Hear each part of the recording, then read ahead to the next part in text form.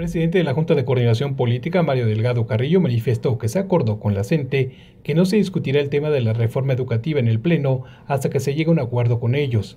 Consideró que por ello se podrá trabajar tres días en sesión ordinaria para recuperar el tiempo que se perdió desde el pasado 18 de marzo.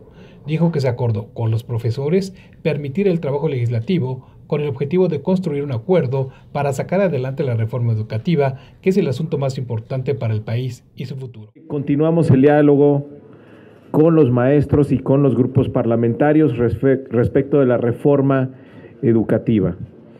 Eh, no vamos a subir al Pleno para su discusión y votación el dictamen de la reforma educativa hasta que no tengamos un acuerdo, hasta que no se agoten las mesas del diálogo, tanto con los maestros como los distintos grupos parlamentarios.